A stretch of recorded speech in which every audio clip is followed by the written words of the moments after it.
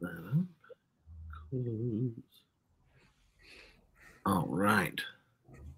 Look, Judy, Hello, up hello, first. Southern Tier, Corning, New York. Hi, Constance.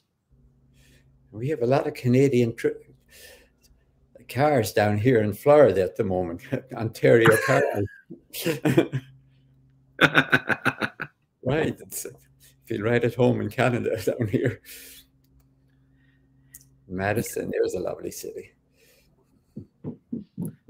the uh yeah uh, so th- i think the uh it's gonna be uh we're gonna have fun today but don't worry someone was sad it's ending y'all have sent in so many questions we're gonna do a a whole post christmas uh q&a Yeah. uh with dom and, and those questions we don't get to Hello from New Zealand.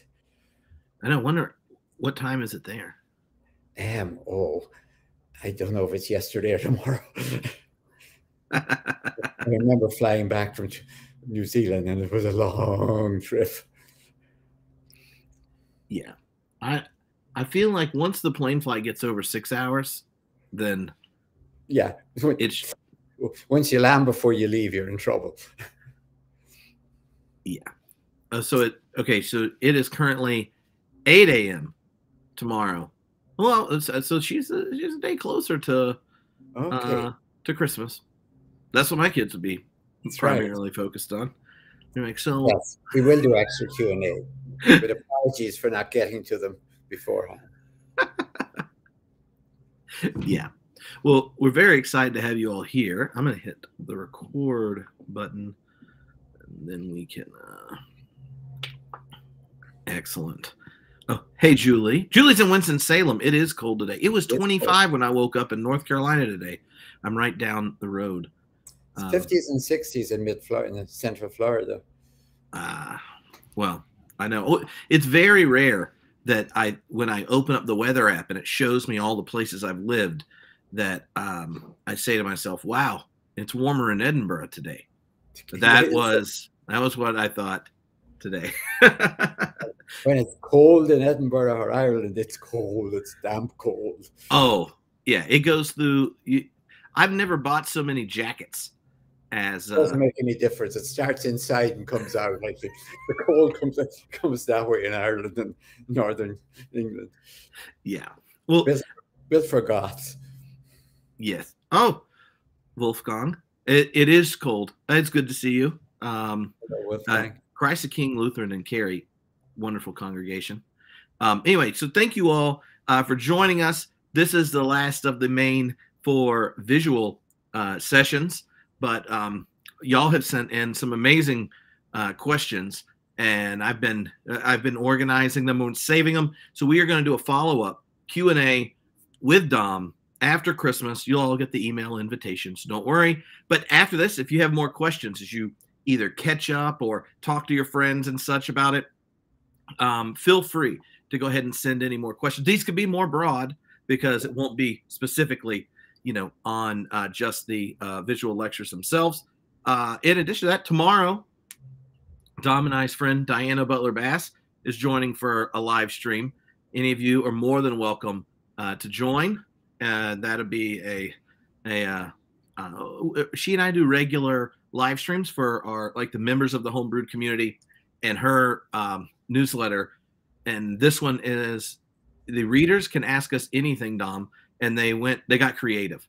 These questions completely unrelated to Christmas and visual lectures. Some of them rather entertaining. Um, People should feel free to ask me anything because I feel free to lie if I want. well, one of my favorites people sent was I'll just lie.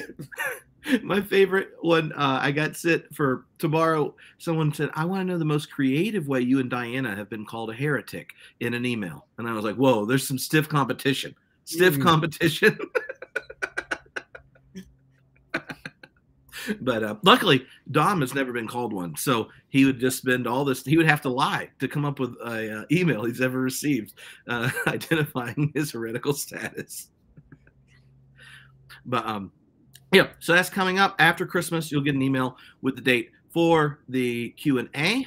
Um, and uh, in the email that I sent out uh, this morning, it also has a link to the upcoming class Homebrewed's doing in January with 11 different scholars, scientists, philosophers, theologians, looking at how we understand encountering the divine um, using different disciplines, helping people process, think through um, that challenge uh, after the easy answers of narrow religion. So, um, yeah. So here we go. This is the fourth video lecture, um, visual, visually stimulating, and uh, I'll let you take it away, Dom. All right. So we already know what's going on with this one. By the way, we should have a competition for what those two individuals are saying. I my suggestion is that one of them is saying, I told you to bring the Jeep. All right, going to the next one.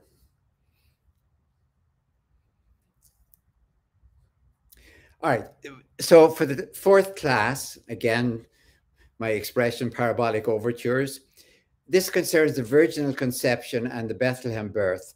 And you can see the two characters that I have on either side of Jesus.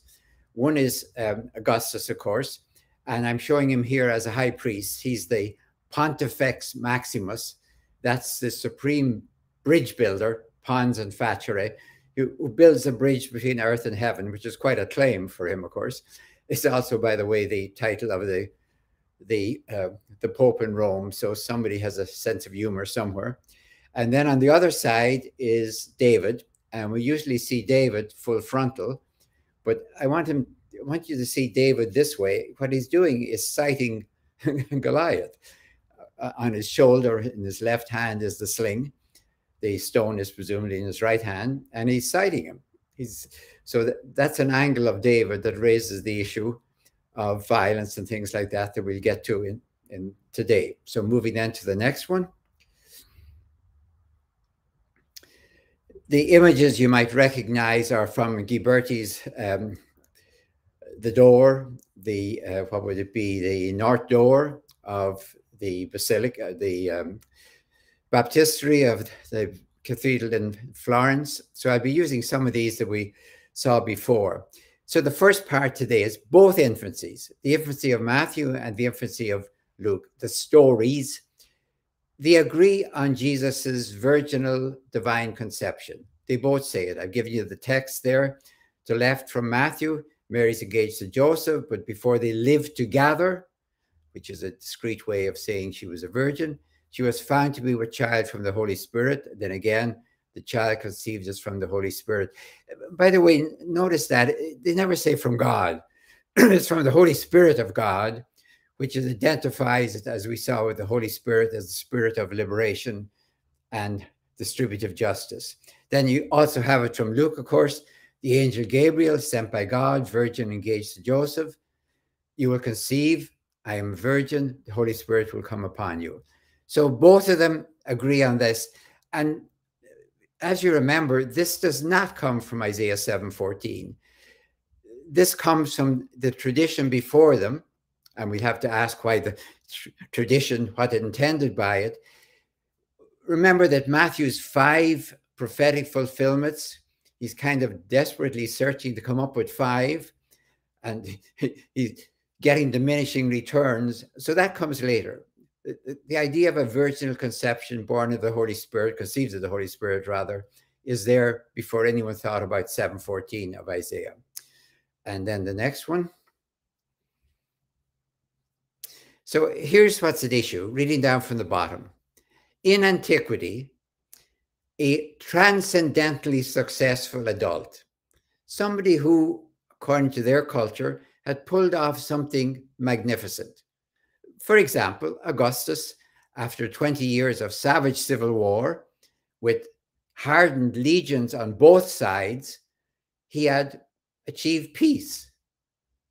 His title was Princeps, which I translate as first among equal, with all the equals dead, but he had established peace. So, transcendently successful adult retroactively then retroactively you give him a transcendental prophetic infancy you don't want to be just say well, just happened to be born happen to be conceived. He gets a transcendental prophetic infancy, and as a predestined child, the child is also given a marvelous conception somehow, and a marvelous birth somehow, and also a marvelous coming of age. And if we feel, well, we wouldn't do it that way, out of courtesy, we give them their way of saying it. We might give the person, if somebody today came up with a successful vaccine that eliminated all of cancer, and if everyone was willing to take it, then we might say the person was a genius, Nobel Prize or something. In the ancient world, they would say that person has manifested divine power, is an image and revelation of the divine, and they would call him a daughter of God or a child or a son of God or God. That's the way they did it. So, what we're always asking then is do we agree with that? Like you and I might say today, I don't think that person's a genius or I don't think that Nobel Prize was worthy. It's a claim, and we must face the claim. To say something like that makes a claim about the person, makes a claim about their embodied program. What do they stand for?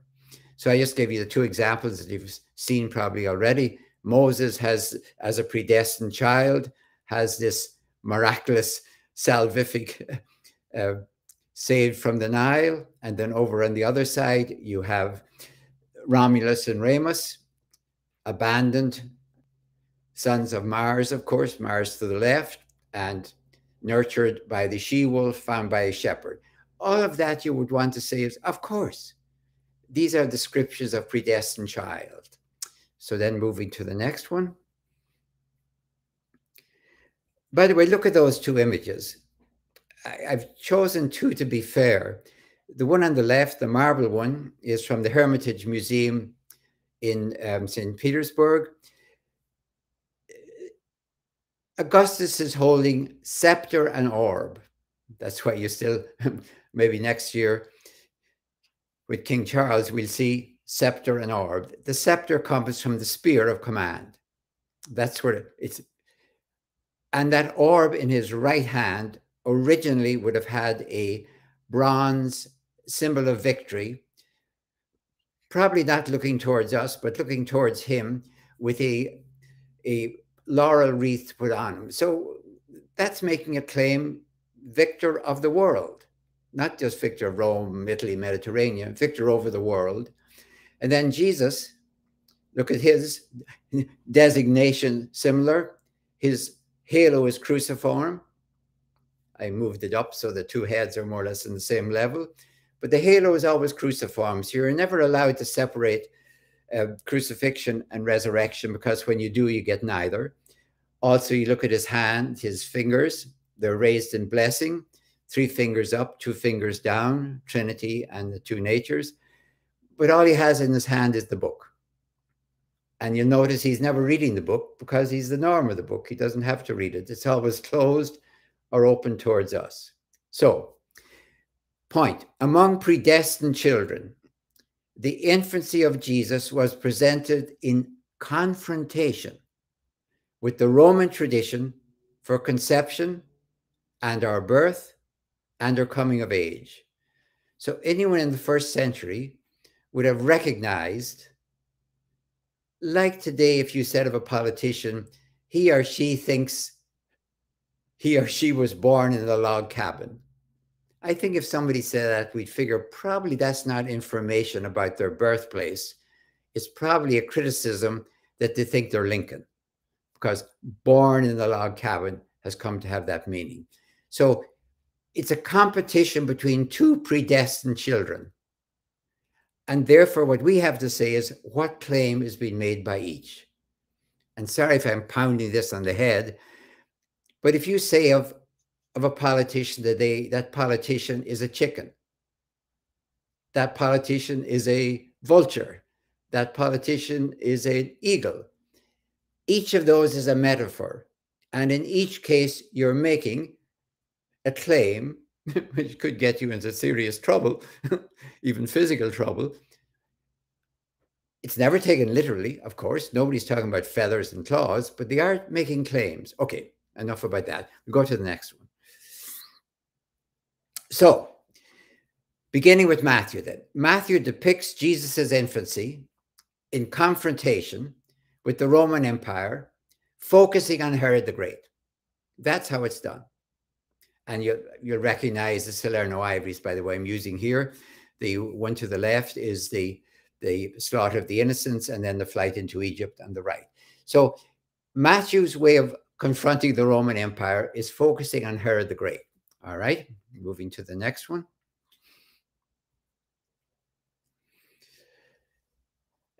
This from Josephus. Antony, I'm quoting him now. Antony, this is Mark Antony, of course. This is when Mark Antony and Octavian were still more or less, more or less I don't want to say friends, that's way too much. Not at war, let me put it this way. So we're around the year 40 BCE. Antony determined to make Herod king of the Jews. That's the title given by Rome. Caesar proved a yet more ready champion than Antony, so they're both in agreement. Herod should be king. Then Antony and Caesar left the Senate house with Herod, proceeded by the consuls and magistrates, and processioned up to offer sacrifice and to lay the decree, King of the Jews, in the Capitol. Now, it's hard to imagine anything more solemn than that. They just didn't send him an email saying, You're King of the Jews and good luck. They went through the whole program, and there on the left, from the um, reconstruction of the first century Rome, that's in the one of the museums in Rome. This is the temple of Jupiter Optimus Maximus. That's Capitoline Hill in Rome, the temple of Jupiter, the best and the greatest. So Herod is about as official as you can think of as king of the Jews. So moving then to the next one. And then the Magi come to Herod. And as you know this, they ask, Where is the child who has been born king of the Jews? Which between ourselves, as you well know, is about the unwisest thing that a wise person could ever do. If they knew their literature, you don't go up and ask any king ever, where's your successor? Because sometimes, as we know, people don't like their successor. They might want to stay as king of the Jews, if you see what I mean. For we observe the star its rising, come to pay him homage. So anyone reading that knows this is an immense clash and must be asking themselves, should be asking themselves, well, if we have a king of the Jews, why do we want another one? You know, what's the difference? Is it just another type of Herod or is it different? You're really asking yourself, or you should be, what is the embodied program the incarnate platform. If these two guys were running to be president, and we said, What's your platform? What would be that of Herod and what would be that of Jesus? So, moving then. Jesus, then, of course, is King of the Jews because he's born of the Holy Spirit versus Herod, King of the Jews, because appointed by the Roman Senate. That is really a part where I, I would have to say 100% religious and 100% political. I, I wouldn't even want to say 50 50. It's like the two sides of the same coin. One side is, is all politics, the other side is all religion. King of the Jews, born of the Holy Spirit, King of the Jews, appointed by Rome, as it were, your choice. And then the next time, we mentioned this before, the next time in Matthew, when you run into the title King of the Jews, here it is. Jesus stood before the governor. Governor asked him, Are you the King of the Jews? This is good old Pilate. Jesus said, You say so. They mocked him, saying then again, King of the Jews, second time. Then finally, over his head, the charge, King of the Jews. And this makes absolute Roman sense. If somehow the accusation is that Jesus claimed to be King of the Jews, that is absolute subversion, treason, and he should be executed. So from from their point of view, the logic makes quite clear. All right, then moving. So, looking at the second one, then, the second mode of confrontation, Matthew confronts in terms of who's king of the Jews. Um, that puts him, as I say, in collision with Rome. Luke now depicts Jesus' infancy story, again in confrontation with the Roman Empire, but about peace on earth. And look at that image. We, we'll see it again in a few minutes. It's from the Ara Pacis Augustae, the altar of Augustan peace in Rome. Look at how the Romans imagine peace. It's not, I mean, it's magnificent in plain language. First of all, the center is a beautiful matron with her children on her lap. She's quite safe. She's not going to be raped. That's what's going to happen in warfare. Yeah, soldiers get killed, women get raped, children get either enslaved or slaughtered. They're quite safe. They're on her lap. Down at her feet is the whole land all around her, well fed animals. They're quite safe. They know they know that one of the bad effects of war is the land is devastated, animals are killed. Then the on the left is the sky. You can see symbolized by the goddess of the sky, as it were, with her um, veil over her, and she's been raised up on a, on I don't know, a swan or a goose or whatever. And then over on the other side is the sea. You can see the, the sea animal. So this is a magnificent peace land, sea, sky, and people. So it's not like, well, this is the Ara Pacis Augustae, the altar of Augustan peace. Again and again in Rome, they simply call this, if you use the Latin term, Ara Pacis. No, it's the altar of Augustan peace, not just the Pax Romana. So when you start talking about peace on earth, you run into the same problem with Luke as you did with Matthew, but we've got it already. How, how, how can somebody bring peace on earth if we've got it? And then you must be talking about a different type of peace or something, or else you're redundant. So moving on then. All right. Let me compare then in, especially in Luke, the three different ways, conception, birth, and coming of age, the, contrast between Jesus and Augustus in plain language. And of course, he wasn't Augustus obviously when he, when he was conceived and born he was octavian but anyway. So jesus will be great called the son of the most high okay that's fair enough as one of caesar's title the lord god will give to him the throne of his ancestor david.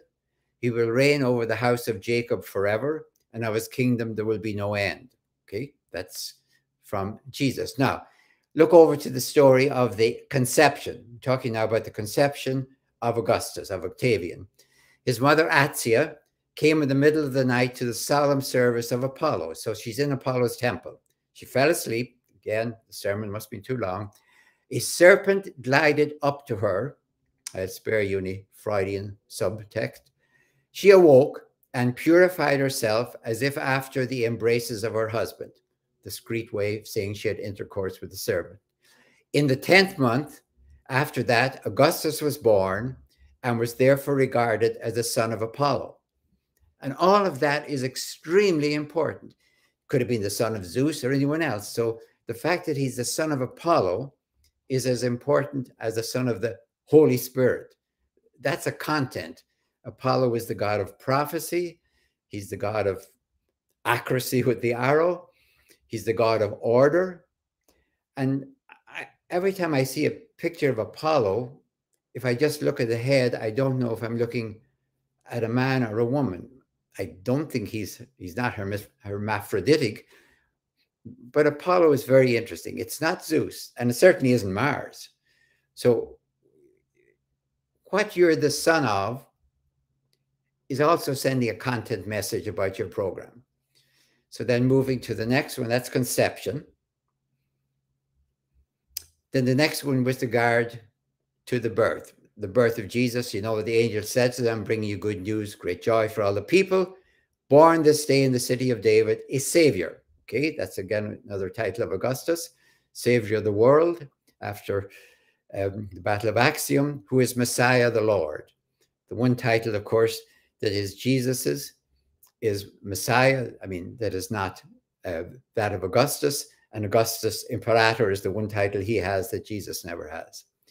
Okay, on the birthday of Augustus, on the day the baby was born, Nigidius, a man unrivaled at discerning the order of the celestial sphere, okay, kind of a magi type, ran into Octavius. That's the father, the father of Octavian, who's just been conceived by, by um, Apollo. When Nigidius asked him why he was late for the Senate meeting, learned the cause, baby was born, and he said, You have fathered a master over us. Octavius was alarmed at this I love this one. I wanted to destroy the infant. Of course, that's part of the story. If you're watching this as a soap opera on television, you'd recognize that that's what you're supposed to do. The kid's a threat, you plan to kill him. Octavius was alarmed at this and wanted to destroy the infant, but Nigidius restrained him, saying that it was impossible for it to suffer such a fate.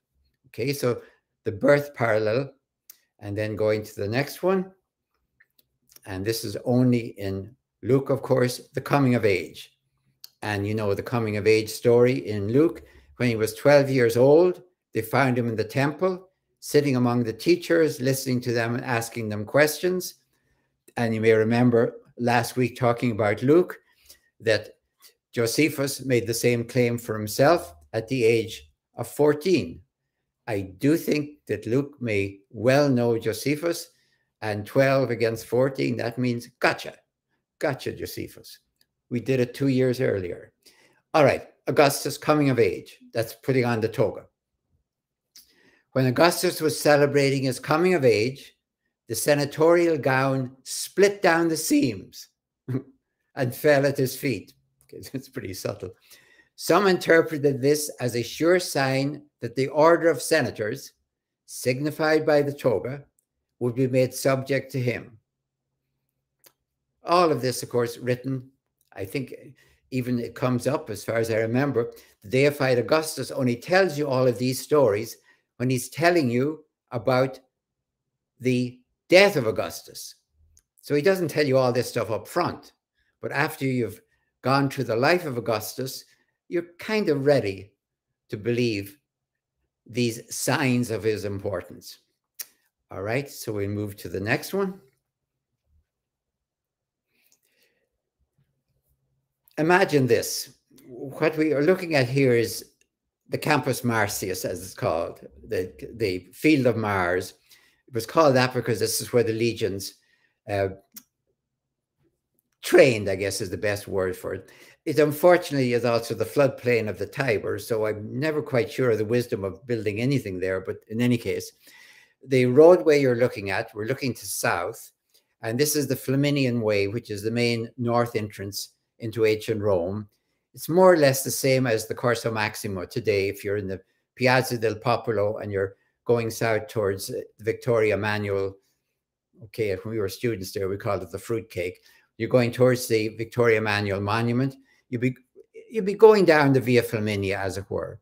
So the idea was that in 9 BCE, Augustus would be coming in along the Via Flaminia, having just fixed up the uh, Spanish and French parts of the Roman Empire. As he came down that road on his, what would be on his right as he's going south, he would see this Ara Pacis Augusti, the altar of Augustan peace. And as he walked past it, he would see his altar of his peace and also, by the way, the the uh, the obelisk there, the when the sun hit the top tip of the obelisk, it went right into the front of the the uh, onto his altar on 23rd of September, his birthday. So there's a huge amount of I don't know if you want to call it mythology, legend. I would call it theology built around Augustus's conception, birth, and coming of age, and this, of course, his peace, which be, which is the reason for everything. Also, down in the in the other corner, that's his mausoleum, which he started constructing almost right away. So th this is Augustus's taking over of the Campus Martius. Okay. We're moving to the next one. This is just fast. The Ara Pacis Augustae, we see it today in white marble. It would have been originally colored. And if you happen to be there at the right time, now they're using laser beams to show you what the color was like. Though in, in my experience, you have a 50-50 chance of hitting it at the, at the right time and seeing it. This is a working altar. It's not just an ornament. It's a working altar. There's holes for the blood to flow it. If you see the cutaway picture, you can see the altar is surrounded by a balustrade uh, with four major images on it. These are at the four corners. The bottom is all a floral decoration, and then processions at the top coming towards, the processions are coming towards the opening because that's into the altar. And then the four ones on either side. So the first one would be on the right top layer of your images. This represents religion. This is Aeneas arriving and offers, offering sacrifice for a successful journey led by Venus's star from Troy to Italy. And it was prophesied that he would offer sacrifice of a sow and its litter, and that's what he's doing. Then moving down to the next one, bottom left, you see war. So after religion comes war. With the gods on your side, you go to war. Mars, as we saw before, the Romulus and Remus children, and then the shepherd who found them suckled by the she wolf. Then moving to the next one, the middle bottom, you have uh, so religion, war, victory. That's Roma, the goddess Roma. She's sitting on the arms of her conquered enemy.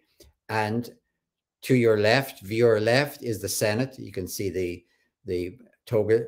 And to the right is the people. So it's the victory surrounded by the Senate and people of Rome.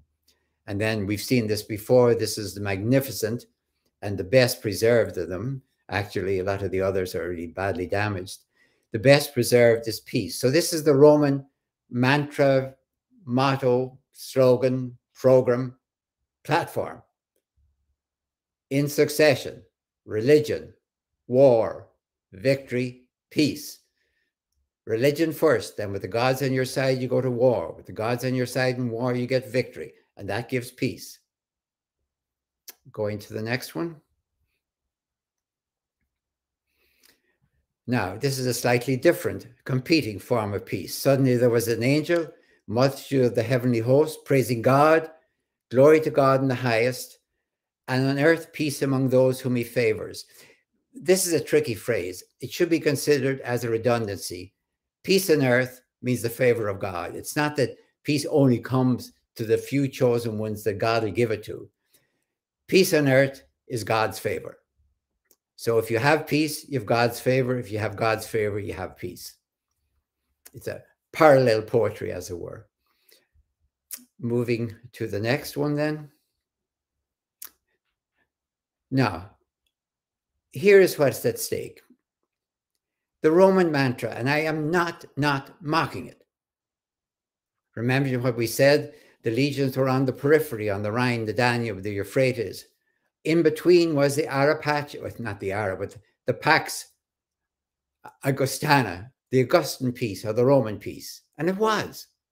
So even the idea of somebody coming up with another concept of peace, an open minded first century Roman would have said, I don't know what you're talking about, Paul. We have peace. We have a Son of God. We have Lord. How can you have another one? So, to understand what a Paul, for example, or anyone else has to do, they have almost a claim that what they're doing is not absurd. It's not a question, do we believe your program? It's kind of, how could you have a program? We already got one. How could there be another one? Then moving from there, Now, we're ready to, for the second half Bethlehem birth. So, the virginal, what's at stake in the virginal conception is a wholly different program for earth. That's what we're talking about. You're perfectly free to say, I don't believe in either of them. I think they're all, but whatever. A claim has been made by Caesar, a claim has been for Caesar, at least you want to put it that way. A claim has been made for Jesus. They are claim and counterclaim. That's why the Romans, quite rightly, are going to consider these people dangerous, and their leaders, at least, their leaders. Don't overdo it. Their leaders will be put to death. All right, so the second thing we want to talk about is Bethlehem birth. And you know, this is only in Matthew and Luke. Paul, for example, mentions that Jesus was born of David according to the flesh, and almost, you know, puts it like that according to the flesh. Let's get on with crucifixion and resurrection, what really counts. But he's no, nobody's made a move to Bethlehem. So Davidic identity comes first, then Bethlehem birth is a kind of a, a metaphor within a metaphor. But both of them have it. And even John mentions it. So over on the left, Matthew, born in Bethlehem, in Bethlehem, Bethlehem, Bethlehem, Bethlehem. Okay, we can say, okay, we got it. I don't know, one, two, three. I don't know if, if I got that right. There's just five mentions of Bethlehem, which is another thing you'd expect, as we saw with the five prophecies, five dreams, and five unusual women from Matthew. And then over on the other side with Luke, the city of David called Bethlehem to Bethlehem, mentions it twice. And then John saying that Jesus of Nazareth should be born in Bethlehem. So, okay, we've got it. It's it's it's there, but it's definitely post-Pauline. Moving to the next one. So questioning what's at stake in this? How historically did Jesus happen to be born in Bethlehem of Judah? according to these two authors. I don't think he was. I think Jesus was born in Nazareth. But anyway, Matthew says because Joseph and Mary lived there. Matthew takes it for granted. They lived there and they fled into Egypt. And then when they came back, dreams and prophecies controlling the narrative, they decided to move out of Judea because Archelaus was there. He was equally bad news, which he was probably. And so they moved. They migrated to Nazareth. But as you well know, of course, Luke, who likes to connect all of this to world history and sometimes gets it right, sometimes doesn't, but you know, it's like if you're talking from memory, maybe we mightn't get it right either. He says Joseph had to go there to be registered in this ancestral home for the census of Quirinius. Yes, there was a census of Quirinius, as you all know, in 6 CE when they fired Archelaus and put in a governor in Judea, Samaria, and Idumea. And the first thing they did was count people. And then moving to the next one. This is a magnificent mosaic from the Chora Museum. Chora, it's a it's a church that was made into a mu museum, and it's magnificently uh, mosaicked inside. And in the entrance, the the uh, entranceway is the life of Mary, and this this is I, I don't think I've ever seen another one like this. This is Joseph and Mary, and it seems like almost Mary is the one who's been registered for Luke's story of the, coming to, to Bethlehem. But by the way, just in Josephus's Jewish Antiquities, he makes it quite clear that the census is for property. It's not for people. It's not a poll tax, a head tax. It's a property tax. So once again, as you well know, none of Luke's story about why and that and how and where they went to Bethlehem has to do with history. All right, then moving on. So what we're trying to do is find out what exactly is at stake here. Why theologically now? We saw historically how it happened in the story. Why theologically did Jesus have to be born in Bethlehem, Judah, Judea? Matthew says Jesus, the Messiah, the son of David, and of course, Joseph is the son of David. And this is fascinating. So, by the way, Matthew sees no problem with him being born of the Holy Spirit and also being, in effect, born of Joseph. Otherwise, he ain't the son of David. He has no Davidic ancestry, ancestry, excuse me, except through Joseph. There's no contradiction for them. Any more than there was a contradiction that Octavian was the son of Octavius. and born of Apollo. Like, excuse me, conceived of Apollo. So Luke, Joseph of the house of David, ancestor David, Savior, servant David, city of David, descended from the house of okay, okay, we got it, Luke, we got it. Okay. City of David, a savior who is the Messiah, of the Lord. So both of them insist on Bethlehem. That is their way of saying of Davidic ancestry. And behind that, of course, what's important is he is the Davidic Messiah. So we're probing backwards from Bethlehem to David, asking always what was at stake for them. So moving to the next one. You remember this, uh, the Western Wall in Dura Europos, that magnificent synagogue that is reconstructed in its own little house in the uh, museum at Damascus. I, I, don't know if it's ever open now. We were only there once in, in 2010s, I think I told you, and it was closed for repairs, maybe for safety as well. There, if you look at the Torah shrine, immediately to the right of the Torah shrine, that little scene there is the anointing of David, and it's right next to the scene that we saw from it was was it Matthew? Yes, the the story of the finding the birth of Jesus mirroring the birth of Moses, as you remember. So the two of them are side by side. Going to the next one. All right, here's what's at stake there. That's the story of David among his brothers being chosen and anointed, as you can see. Here's the background. I will send you to Jesse the Bethlehemite for a king among his sons. This is what's happening to Samuel. He's been sent to choose David. David was the son of an Ephrathite of Bethlehem in Judah named Jesse, who had eight sons. One, two, three, four, five, six, seven, eight. Yeah, eight sons. You, O Bethlehem of Ephrathah, who are one of the little clans of Judah, from you comes forth for me one who is to rule in Israel, whose origin is from of old, from ancient days. So we have Bethlehem and we have David. So the city of David is Bethlehem. And then moving to the next one.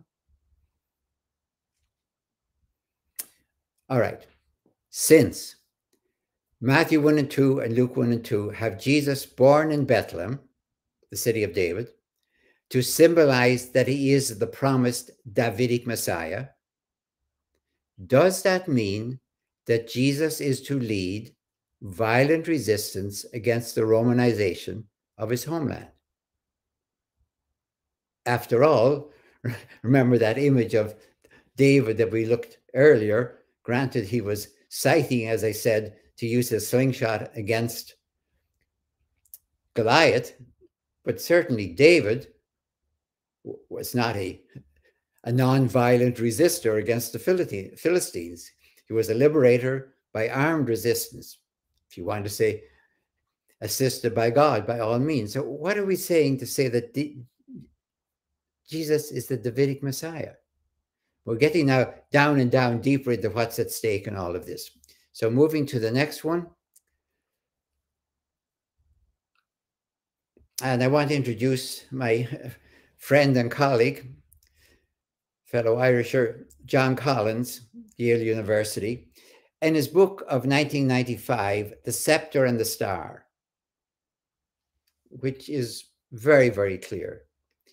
The concept, it's like asking this question. If you went round first century Israel, say the first 25 years, and asked everyone in the street, what's this Davidic Messiah to you? Not the not the elites, the, the Pharisees, the Sadducees, the Essenes, but the ordinary people. What did it mean to think Davidic Messiah?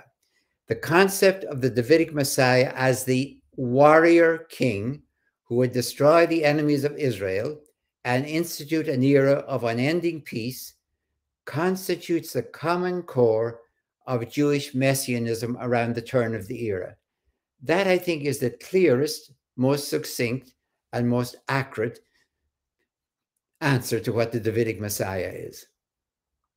And, you know, it sounds a little bit like Caesar. There will be peace, of course.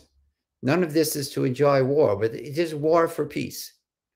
Again, he says that at the very beginning, if you look at the pages, and then he brings it up again at the end of that volume. There was a dominant notion of a Davidic Messiah as the king who would restore the kingdom of Israel, which was part of the common Judaism around the turn of the era. That's the common mainstream. Now, going to the next one, I'm just looking at a reissue of the book from 2010. Two other statements, they were also in the original. I don't mean this was added, but just to use two different images. Although the claim that he, Jesus of Nazareth, is the Davidic Messiah is ubiquitous in the New Testament, he does not fit the typical profile of the Davidic Messiah. This Messiah was, first of all, a warrior prince who was to defeat the enemies of Israel. Now, John is talking about, not talking about the messianic, Christic tradition. He's talking primarily about the intertestamental period. So these are almost almost like throwaway lines at the beginning and end of the book. Look at the pages, page 13 and 204. There is little, if anything, in the gospel portrait of Jesus that accords with the Jewish expectation of a militant Messiah. So now all of a sudden we have a, Davidic Messiah who, who doesn't seem to fit the job profile of a Davidic Messiah. So moving on from this.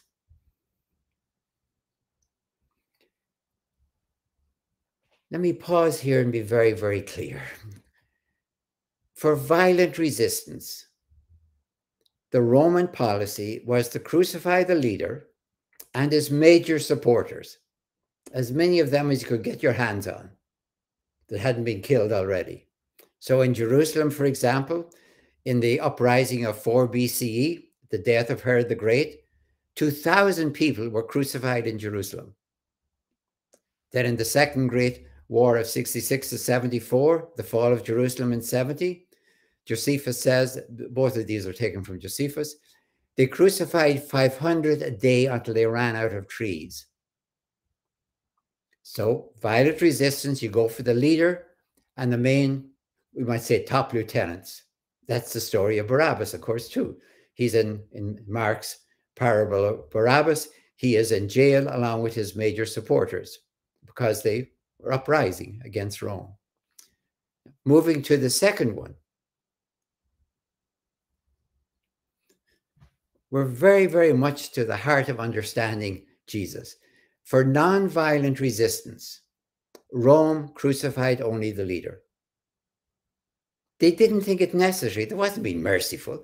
Why bother with the, they would have said, to, with the riffraff? Nonviolent resistors, we crucify the leader, they'll get the message, and that'll be the end of them. Here's their, from Julius Paulus, legal opinions he's collected for his own son. This is probably around the year 200. These are legal opinions, opinions in the sense of a legal opinion, not just, you know, here's what I think. This is a judgment, you might say. The author, and it's in the section on seditious people, on seditious people.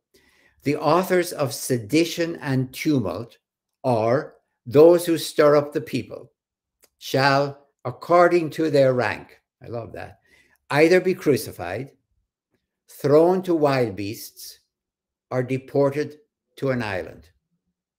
It's almost one of the most important Roman quotations to understand what happened to Jesus. He is a author of sedition. That's exactly what they would see of him. He creates tumult. He, we would call him an activist. He's not a philosopher. The philosophers could criticize all they wanted about wealth and anything else. The, the cynic philosophers or even the Stoic philosophers, eh, they might boot them out of town every now and then if you got annoyed. Rome didn't crucify philosophers. They crucified activists, the leader. So going to the next one. This is why both Josephus and Tacitus, at Josephus in the 90s and Tacitus in the 110s, when they're trying to explain about Christ, and they're only doing that because Christians are still around and they want to know who are these Christians, both of them feel it necessary to explain why that didn't work. When they tell the story of how we crucified the leader, Well, that should have ended it. So now we're what, 60, 70, 80 years later, and these followers are still around. So what went wrong? Josephus's answer Jesus, this is his whole account, won over many Jews, many of the Greeks. Pilate, upon hearing him accused by men of the highest standing amongst us, that I think is the most accurate statement ever made about what happened. Yes, the men of the highest standing amongst us, that would be the high priestly circles, fearing what Jesus might bring down upon them, accused them to Pilate. I think that is right. But of course, only Pilate could have crucified. Only Pilate could have put Jesus to death, had condemned him to be crucified. On the other hand, says Tacitus, Christus, the founder of the name, had undergone the death penalty in the reign of Tiberius by sentence of the procurator Pontius Pilate. Now, each of them, moving to the next one, has to explain what went wrong. And I goofed there because what, what went wrong, according to Josephus, there should be a slide in there. When I was correcting it, I took it out by mistake. Josephus explains that after this was done, what happened was those who loved him before continued to love him afterwards. And love in that political sense means loyalty. So you could translate it, those who are loyal to him before continue to be loyal to him afterwards. And the tribe of Christians to this day has not disappeared. So that's Josephus's explanation of why, even though we crucified the leader, it just didn't work because the followers still stuck to him.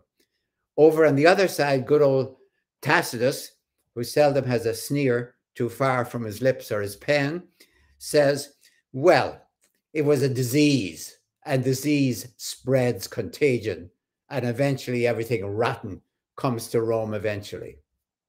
Okay, fine. Josephus is polite, Tacitus sneers, but both of them have to admit something went wrong with the Roman program that if you crucify the leader, that's the end of it. or as Pilate might have said, what, what happens in Jerusalem stays in Jerusalem. Not in this case. Something went wrong. So moving to the next one. I wanted to end with this. Uh, you may know Rainer Maria Rilke, the poet, his letters to a young poet.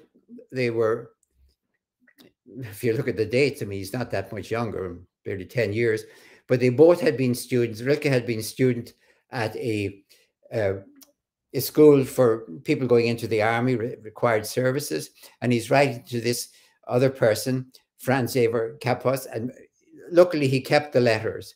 So I want to look at two letters to conclude with this and conclude the whole series if we move to the next one. I suspect you know the letter on the left. At least you probably know the phrase loving the questions. This is a letter written on July the 16th of 1903. And he's telling the young poet, try to love questions, questions themselves. Think of them like locked rooms and like books that are written in a very foreign tongue. Do not now seek the answers or press the answers because you would not be able to live them. Live the questions now. Perhaps you will then gradually, without noticing it, live along some distant day into the answer. That's letter four. And I think a lot of questions do know that because they might recognize the program loving the questions. Now, I want to look at letter six.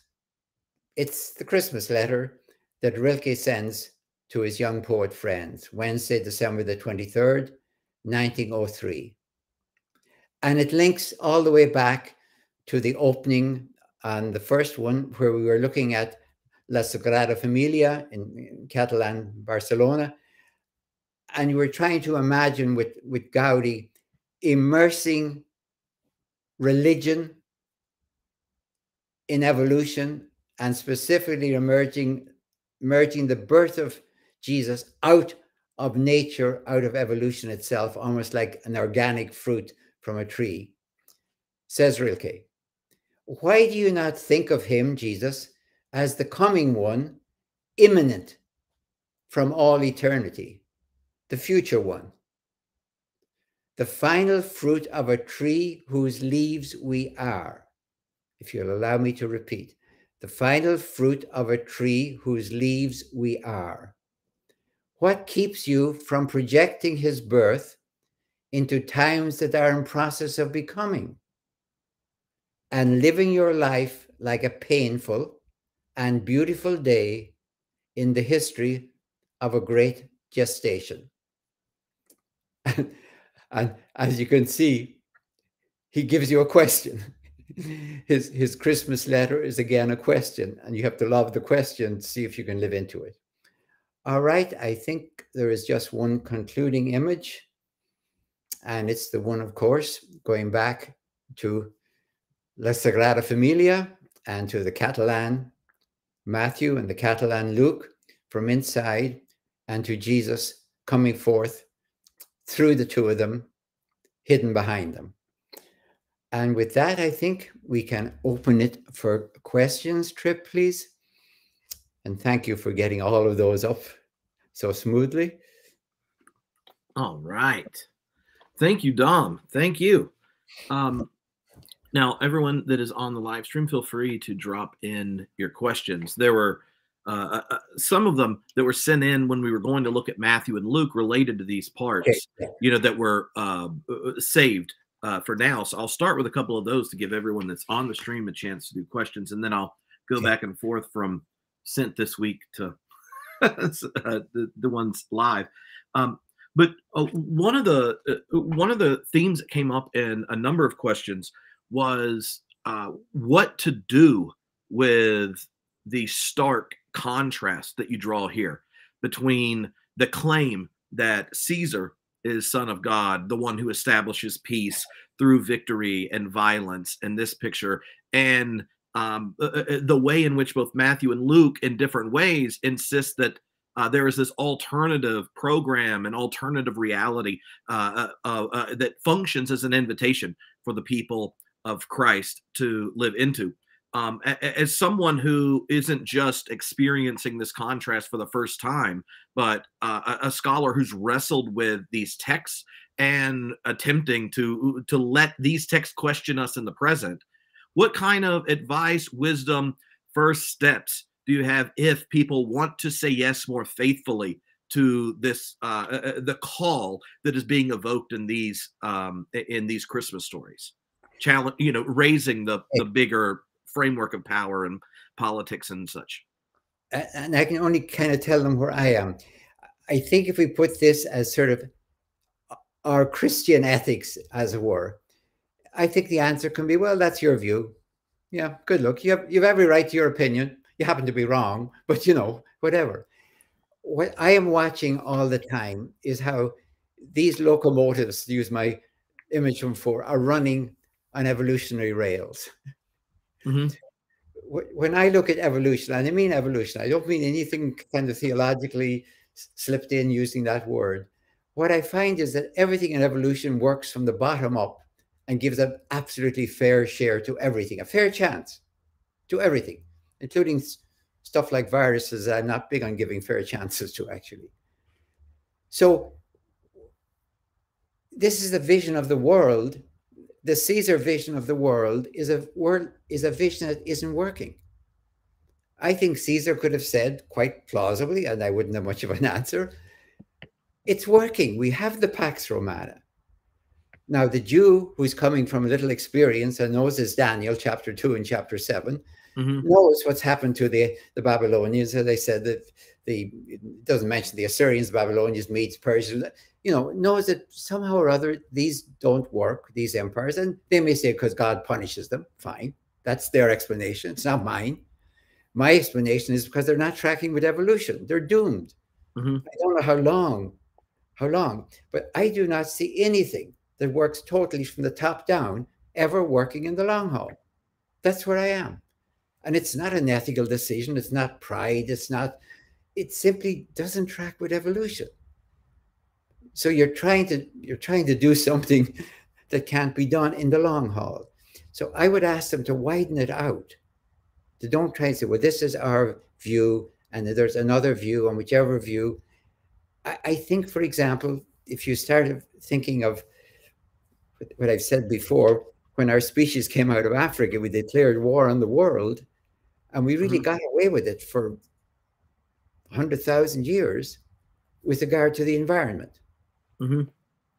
And, you know, it would have been silly to even raise it. And the Bible doesn't raise this. The Bible talks about war for certain, and it's aware, like the, the, the peace, as the Romans knew, that war is bad for living things, but but they, they didn't have a glimpse that there was anything else there, that we were really, the, on, the primary onslaught was on the environment. And that war was uh, it, it, almost like a second secondary threat. Reading the Bible, you think it's the only threat. So mm-hmm. I would ask people to raise their eyes and look at the whole environment, the world, spe- other species, and ourselves, and put that in there. And I'm trying to imagine what I call post civilization. I have no idea what that means. Mm-hmm. I have no idea what it would be like. But the Bible clearly has glimpsed it because if they talk about beating the swords at the plowshares and all of that, they've glimpsed it. Mm-hmm. one of the big questions in my mind is how did these people glimpse something to at last darkly? Why didn't this? Why didn't the biblical tradition simply say, "Wait your turn. Eventually, we're going to get an empire. Everyone gets an empire. Eventually, we get an empire and get to beat everyone else up." Mm-hmm why did they ever come up with the idea that the world should be a just place? You don't get that from any experience human history. So all I can see, of these were like intuitions of evolution. And I don't want to say more than that. I don't want to say, oh, they're really glimpsing. No, I think they had, there were people who began to see somehow or other, this doesn't seem to be working well. And the way I put it in Render unto Caesar is it's it's not that we have an original sin. It's we have an original state that we are we are a community with individual wills. Mm-hmm. That's almost like an evolutionary joke or an evolutionary challenge, if you want to be more. Yeah. What, what? How can you have a social species with individual wills? Won't be always pulled towards our own way, or won't be always pulled in the mm-hmm. opposite mm-hmm. ways. It won't be tyranny or anarchy? Well, as a species, we have to walk a tightrope between tyranny and anarchy. And we ain't doing it too well. Mm-hmm. We really don't. So that's that's the scenario within which we have to put any of this for me. Otherwise, it's just my opinion, your opinion, and they're all they're all equally opinion. Yeah. Well, you, one of the things that um, I, I, find uh, helpful in raising the question of uh, how do you hear these stories as resonating with the the grain of our species and its ongoing evolution is um, we are growing in our awareness uh, the role of both our biological inheritance as a species, right? Our cognitive yeah. mechanisms, our biological drives and desires are things that were evolved and functioned in uh, uh for an environment we're no longer in, right? In Africa. But on top of that, uh, we also are a symbolic species that we communicate. We pass down wisdom through our communication. We actually free, we give the world interpreted to every child when they learn our language, which comes with all its symbols. Uh, and and so the we never experience the world directly. It's always come in this kind of interpretive mm-hmm. way.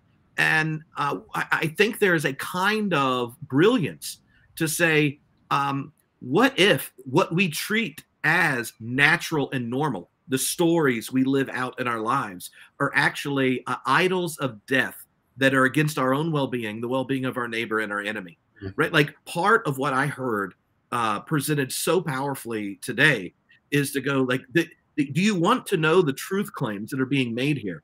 It's asking us, when what is genuine peace?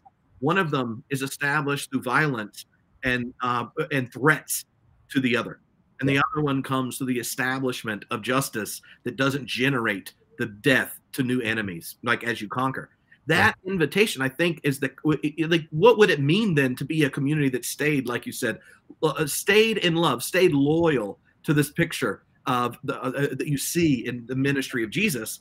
It, it is a community that has resisted calling this world Caesar's set to peace that he made right and this kind of thing. Um, I, I I find that to be wonderfully exciting, and we can even see places in history where people that would never use our theological language as Christians about Jesus resonate with the very truth that's yes. being proclaimed here. I'm, I have not the slightest intention or need to say well, this is Christianity. Is right. it? No, it's just my responsibility, first of all, as a historian, to mm-hmm. tell the truth as I see it, and as a theologian to tell the truth because Jesus is a theologian. I can't let on he's just walking around patting babies and you know telling little stories. But also, I think the Christian vision tracks well with evolution. Otherwise, I would simply say, well, it's very interesting, but it's you know irrelevant. mm-hmm. so, so, one of the one of the other questions um, here is uh, you mentioned in Matthew uh, that Jesus was conceived of the Holy Spirit and yet goes through the line of David via Joseph. Yeah. Um, is is that something worth noticing and trying to understand the kind of historicity or claims being made by Matthew? I really think it is because, as I said, you have the same thing with Octavius. I mean, his inheritance came to Octavius. You know, it wasn't like, well, you're not my father, Apollo is, or whatever you want to say it like that. I mean, we we know a lot more about the biology of the sperm and the egg than they mm-hmm. knew or I eating whenever. I don't even know when we found that out. So they probably would have had no I no problem with what we might call natural conception and also a God doing it at the same time somehow. I mean, they didn't know even enough about the genes and everything else that we might raise questions like where half the genes, you know, were missing or something none of those, they were blissfully unaware of that. So they could imagine that, yes, he is descended from David. And if you pushed them and said, well, does that mean that Joseph was the genetic, you know, the father? Of course. Well, then how could the Holy Spirit be the father? They probably would have looked at you and said, what's your problem? Literally, like if you said, well, is he Octavius's son or is he Apollo's son? I think they would they honestly would not have understood the problem. Like as if we were to say, if we could use it, well, he was born of so and so and he's the president. Well, yeah, if he wasn't the president, we was born, you know. Mm-hmm. This is a title given retroactively.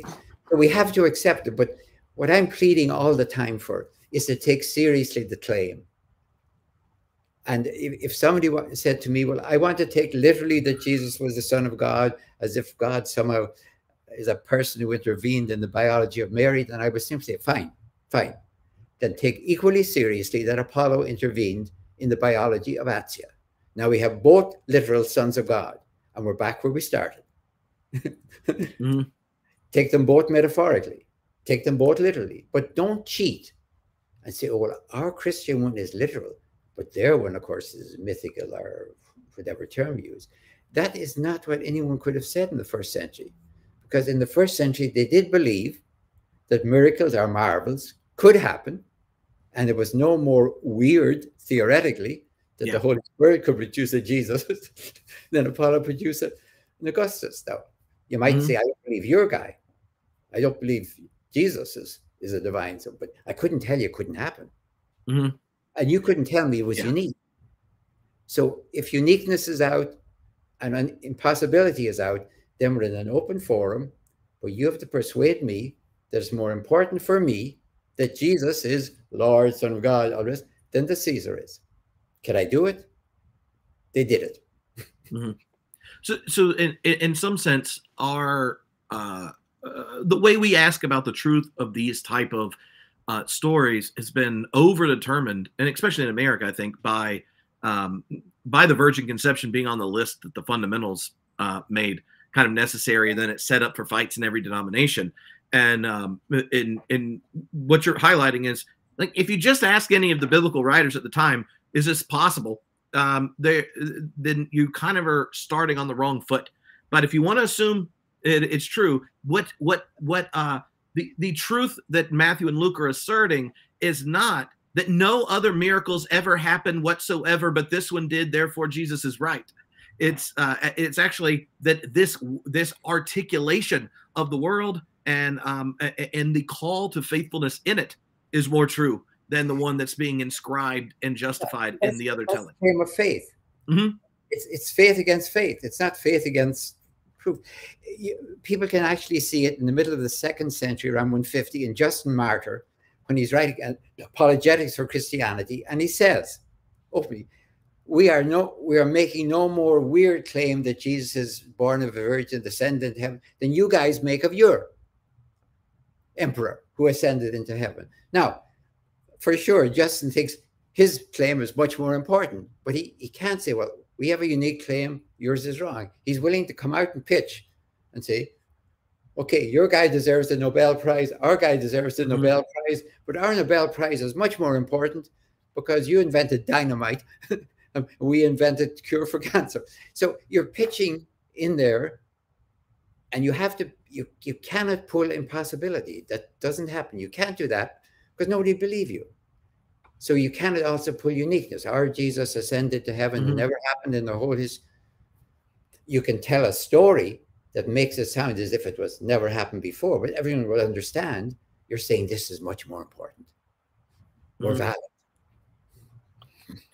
There are um, a number of different questions around the different titles of uh, uh, uh, used in both birth stories and um, how they get appropriated, either say for Herod um, in Matthew or for uh, Augustus in Luke. Um, could you kind of just uh, kind of like briefly sketch them out uh, because there are a number of little questions. I think just what's going on in the use of the titles and um, which which of the ones that are most you know familiar for people in liturgical space uh, have their origin in this contrasting visions of kind of uh, uh divine plans and divine invitations. Okay, well, people have argued that a lot of these titles for Jesus could come out of the left, the Septuagint in the Bible, and that's true. Lord. I mean, if Caesar was called Führer or something else, Lord could come out. It's just that the when they're all put together, it's two pointed. If Caesar never existed, Jesus could be called Lord. He could be called Son of God because um, God talks to Moses that you know, by taking his people out of Israel, let my son go. So Israel is the son of God collectively because son means the heir. So a lot of these titles could be understood. And by the way, I have started using messianic hyphen Christic to avoid the term Christian in case it means, you know, that time later when there are two separate religions. Mm-hmm. But we are making messianic, and that's simply an anglicization of the Hebrew and Aramaic, and Christic, C H R I S T I C, is a simply anglicization of the Greek. So we're talking about messianic Christic Jews at mm-hmm. this stage. So Messiah is a title that's unique to Jesus. I don't think anybody would ever have used that of Caesar. And the corresponding one for Caesar is the imperator, which doesn't mean emperor, it means victor, world victor, actually. So each of them has a title that's unique, but then there's all of these in between. the point where you cross the line is when Paul is writing and he calls Jesus the Lord. Rome had no problem with everyone having their own little Lord or even their own little sons of God. Eh, your own little Redeemer. All of these they would recognize as this little religious group over there has its Lord. Of course. When you start cruising backwards and forwards between our Lord, the Lord, our Lord, the Lord, every time you cross that line, that's treason. Mm-hmm because you're not saying our Lord. This is just our little Lord over here, stuck in the corner of you know of the Mediterranean in Israel. It's our little Lord. No, it's the difference between you're in the school board and you have a president. Fine, no problem calling him the president. Just don't walk around Washington saying out loud, "I'm the president." See what mm-hmm. happens to the Secret Service when you do that. So when you start saying in a certain context, the Lord, everyone mm-hmm. recognizes that you're making a claim, and that's why you could end up dead. So the title, especially, is it's a usage that makes it really clear: the Son of God, the Lord, the Redeemer from sin, the Savior of the world. We are saying that our guy is and your guy ain't. Oops. the uh, um, do you think that the you, you, briefly mentioned at the end how in the trial at Matthew and then um, on the cross you pick up uh, the uh, King, of King of the Jews line. You briefly mentioned the function of Barabbas as uh, as a parallel um, there. Um, what is the uh, what is the context when these kind of stories? Uh, how does that change the way you frame the ministry and teaching of Jesus when this theological uh, beginning of the birth story, and then the way Matthew uniquely does it re re remembers uh, the you know, the cross um, in ways that kind of pull these threads yeah. of of of messianic comparisons or Jesus as Davidic Messiah without the army kind of thing. Well, it means then that everything that's in between, first of all, you read within these frames. It's not that he really was fine, you doing nothing, and all of a sudden something went wrong in Jerusalem and he got himself crucified by mistake. No, the logic of the of the whole story tells you if you don't know the story, you're holding your breath mm-hmm. To see what's going to happen to this guy. But your your general feeling, if you're a good reader, after those openings, is uh, this isn't going to go too well. this is this sounds a, too much like a counter story, and you don't get away with counter stories. So from the very beginning. It's not when everything is going fine, fine, fine. He gets to Jerusalem and something goes wrong, or Pilate mm-hmm. makes a mistake, or he confused. The logic of the story goes all the way through. So it's perfectly valid then for Paul, in his own way, to take it for granted. I'm not going to even talk about what led up to this, because what led up to this, uh, sorry, what what happened was latent in the beginning.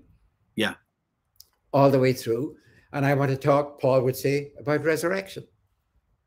So this is like Jesus, uh, God has qualified this whole thing as the way of the future, the way it should be, should be. So Paul could never separate the two of them, crucifixion and, and, resurrection. And if we have done it, done it too much and too often and too easily, mm-hmm. that's a problem with our theology. Mm-hmm. So do you think that um, and Robbie asked this in uh, live if the the culmination of Matthew's kind of introductory overture, and then at the end asking right to choose between choose between Barabbas and Jesus, um, if if if if that ultimately become the part of the Gospels like addressed to us is again to ask that question right? Like the that the proc the good news of the gospel is hey you, you have to ask this question again um uh, to, to respond to the claim of you know what is uh what does it mean uh to pick sides in this yeah I, mean, I call it a parable because look, let me be very clear no governor could ever offer the paschal amnesty could say to the crowd, as it were, however you number the crowd, whoever you want, you can get out. That's a recipe for disaster. you know, it's like telling somebody, whatever crime you commit, you can be out next Sunday. Anything could happen. So Pilate would be impeached immediately. This is a parable. Uh, Mark's writings say in the throes of the, the Great War of 66 uh, to 74, Jerusalem has fallen and all the rest of it. And Mark is summing up the history. He said, O Jerusalem, you were offered two saviors. Mm-hmm. There was Barabbas and his followers who were freedom fighters. Now, from the Roman point of view, they're they're rebels and lestai, you know, but from the Jewish point of view, these are freedom fighters. They're in prison, of course, because they're armed, they're violent revolutionaries. Mark asked you to imagine the scene where Pilate is standing here with a violent revolutionary called Barabbas, mm-hmm. father. That's almost a giveaway. Why would you want a name like Barabbas? That would be like Scandinavians whose name was father son. Well, every father is a son and every son is a father by definition. So that doesn't help you. So Barabbas, ask you to look at the other side of Pilate where the true Bar Abbas is standing. So Mark has Pilate say, O Jerusalem, which means O us. Which side are you on? Do you think salvation is with the violent revolutionary? And remember, the violent revolutionary against Roman oppression and everything else, not an evil person. He's imagined as a freedom fighter, or the non-violent revolutionary. Which mm. side are you on? And when Pilate actually chooses Jesus, Mark is saying, in one sense, Pilate made the right decision, but Jerusalem didn't. Mm -hmm. And what happened in the year 70 when the violent revolutionaries brought the Roman down upon them. So, I mean, these people in in this first century, the, the terrible first century, this was a real problem for them. How do we yeah. oppose the Romans? If we oppose them by violence in the name of David or you know Josiah or, or our heroes of old, and God will come on our side and God will protect us and everything will work and the, the walls will fall down. And these are dangerous, dangerous stories because mm -hmm. you know, glorified from the past, they now become modes of operation in the in the present. And the danger was real danger that after the war of 66 and 74, Rome might have declared Judaism a forbidden religion. Mm-hmm. They came they came very close by making every Jew everywhere in the Roman Empire give a tax towards the temple of Jupiter Optimus Maximus and the Capitoline Hill in Rome. That's taxing them to support Zeus's temple. That's just one move from saying, okay, you're a forbidden religion. It could have happened. But Rome at least got it right and despite four great rebellions against Rome, it never actually forbade the Jewish religion. Mm-hmm. Yeah. Uh, so uh, Susan asked this question, but so did Anthony ask a similar one uh, via email. Um, please talk about why Luke and Matthew wrote these narratives and made these comparisons when they did 80 to 90 or so. Um, and uh, in, the other way it was phrased was uh, if you take these as theological narratives um, and they're in some sense retelling them for their present community uh, using the tensions in a past moment, uh, how did post temple uh, early Jewish Christian relations with Rome shape uh, how these would be heard? Okay, let me see. Now there's two parts there. So let me if I forget the second part, I do the first part. I, I, I think the questions of dating are perfectly valid historical questions, but I warn you that the doubts about about those answers shouldn't doubt you about the content. Uh, I think Matthew, Matthew may have been a Pharisee. He certainly was a rabbi and a scribe. He may have been a mm-hmm. Pharisee, mm for sure. And he's debating with other Pharisees, I think, after the destruction of the temple. So I see no reason it couldn't be 80 to 90 for Matthew. Secondly, for Luke, I have to think of Luke Acts as a single work, as you know, composed at the same time, imagining the whole. So therefore, I can't put um, Gospel according to Luke, say around 80, and the Acts according to 120. I think both of those were conceived as a whole and written probably in the 110s or 120s even of the second century especially if you think he knows Josephus from the 90s. Okay. Now, in terms of what's going to happen, well, eventually, after 300 years, as you know, the Roman Empire is going to join them. Mm-hmm. And what do you do when the empire joins you? Well, you you have to you have to make a deal. And unfortunately, the deal was well, we'll take care of heaven, you take care of the earth. We'll take care of charity, you take care of justice. Um, we'll take care of the soul, you take care of the body. We bifurcated it. You know, maybe maybe there was nothing else you could do when Constantine joined you and offered to build you churches and everything else. But it was very hard to keep suggesting that Pilate might be like Constantine. Mm-hmm. It was, uh, you know, maybe it was just the pagan Roman Empire was the problem. Now we have a Christian Roman Empire. Ah, so it's all right. So the problem was not empire. The problem was pagan. Yeah. Now that, that's something that never happened in the Old Testament tradition. They never said, well, the problem with the Assyrians and the Babylonians is they're pagans. Now, if we had the Jewish empire, everything would be fine. No, didn't they didn't go for a Jewish empire. They went for a just world. So I, I think the danger was once the empire joined them, that you negotiated how to live within the empire. Mm-hmm. I, I, don't envy them the problem. I really don't. Yeah. It, it reminds me of that uh, the scene, um, and a couple people uh, sent this in. That scene in Monty Python's uh, um, The Life of Brian, where the Jewish resistance to Roman occupation are sitting there and they're planning uh, their rather poorly planned attempt to, uh, you know, go get the uh, uh, uh, go. I think it was to go kidnap someone or whatever and break into Pilate's thing. And they're like, "Yeah, well, what's Rome ever done for us?" And then they sit there and like, "Well, well, the sanitation. Okay, okay, but beyond the sanitation, they start going through."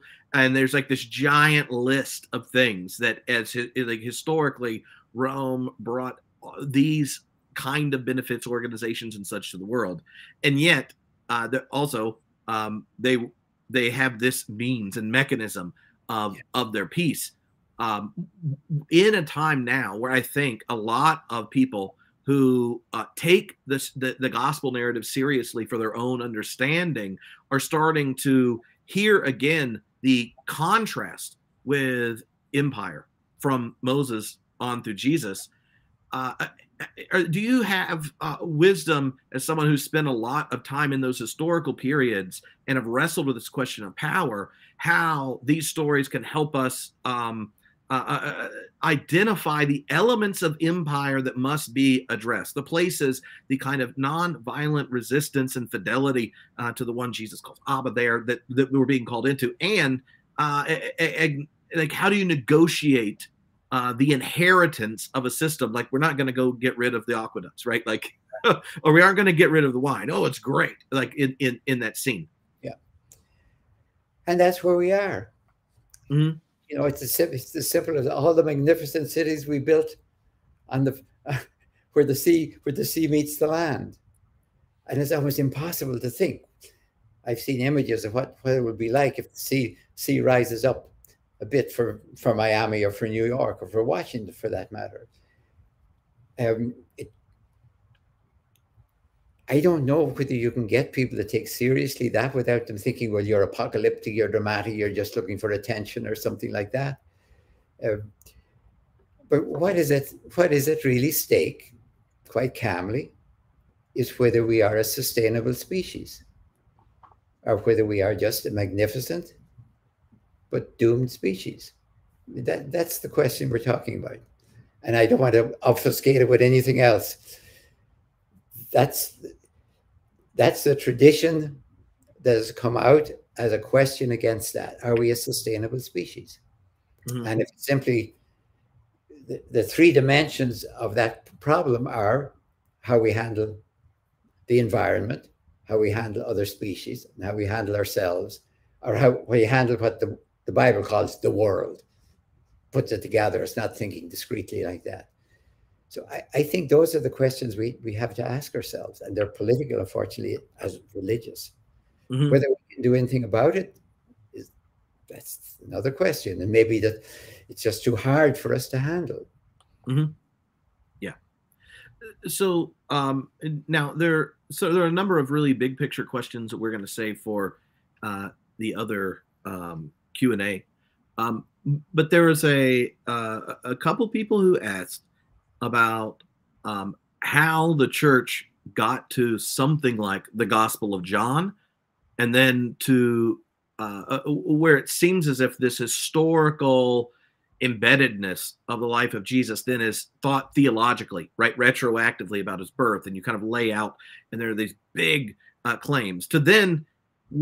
Well, how do we get the kind of claim that happens, right, in the Gospel of John's prologue, to then the kind of claim where the birth and Logos eternal is even divorced from the narratives of Matthew, Mark, Luke, and John um, in in the creed? Like, is is there is there something to learn that uh, to avoid doing again in that distancing um, or is it uh, is there in that undoing? Is there wisdom for us trying to re-embed uh, these stories in their historical matrix? Um, the big difference that I see is that the people who wrote, like Matt, even any of those gospels, were making claims on the future. Mm-hmm.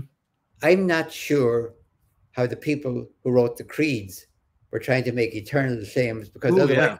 we wouldn't need so many of them.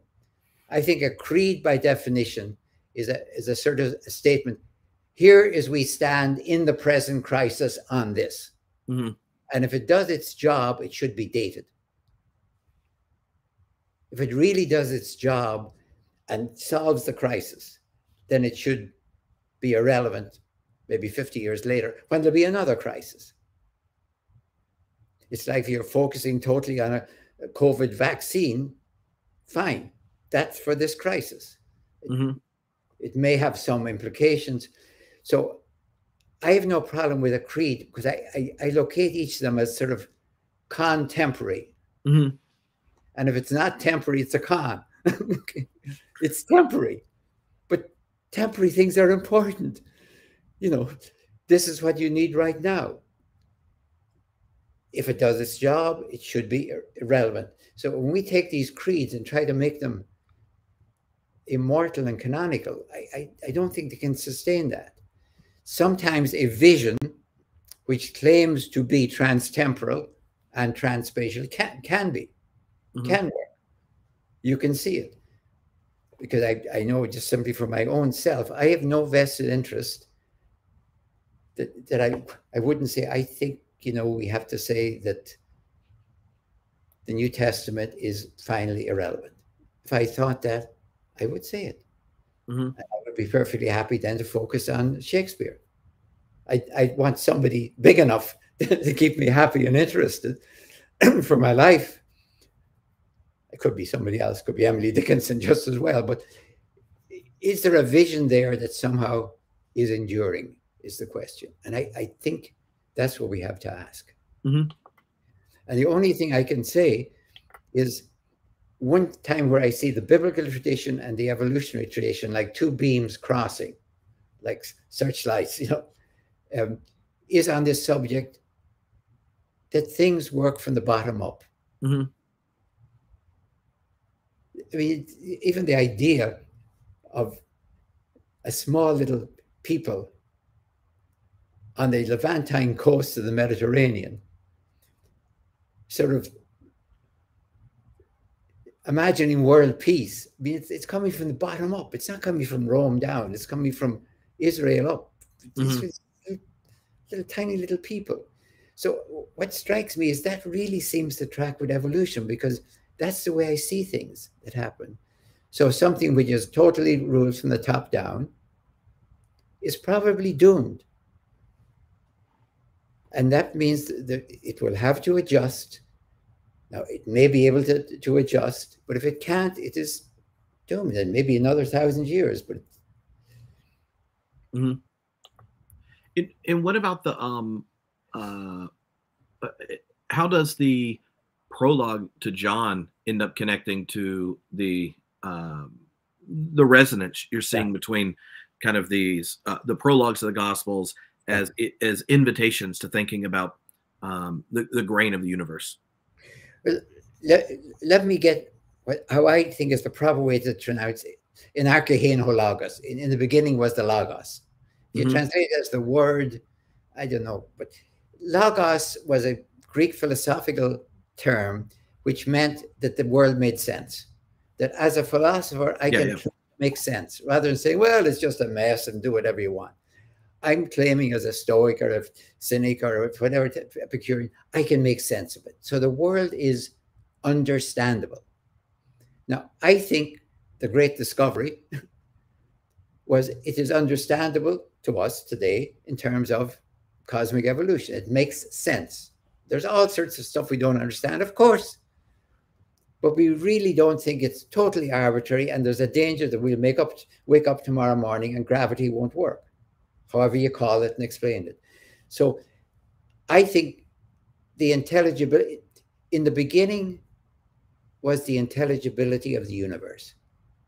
So, as far as we're concerned, as John says, the relationship between God, talking about mm-hmm. God, and us is the intelligibility of the universe. Paul's way of saying that is we should be able to figure God out by looking at stuff that is in, in Romans. So, but then he goes on to say that the intelligent intelligibility of the universe became incarnate in Jesus. That's the claim that I'm seeing in Rilke's Christmas letter. Mm-hmm. That somehow it's this non-violent resistance against violence rather than the the obvious thing if you're violent against me i'll be violent back and so violence escalates escalates escalates until mm-hmm. it threatens the universe and it's all kind of logical that we got there. You did this i did this you did this i did that. It's it's like the desert you know blood feud in chapter four of genesis. It, it spirals yeah. out of control. And then nobody did it. It just happened. So when i see john I think John, by the way, is writing his gospel in rebuke to Matthew, Mark, and Luke. I think he knows their gospels.